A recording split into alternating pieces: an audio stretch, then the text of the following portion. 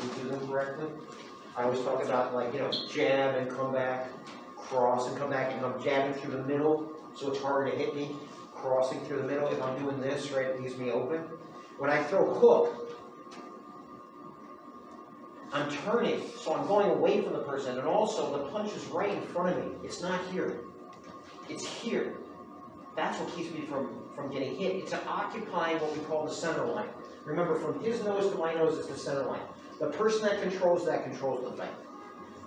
So that's why here is no good, and if I let it go past that, it's no good. Right? Like if if he ducks, for example, same idea. He come when he comes up, you see how my fist is past the center line? And you see how his right cross is coming through the center line?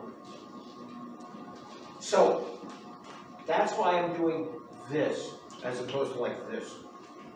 And even when I do this, the long one, I'm sideways. I'm not doing the same thing with this side. That's why when you do an overhead, it's not here. Right? It's, you gotta take your head off the center line.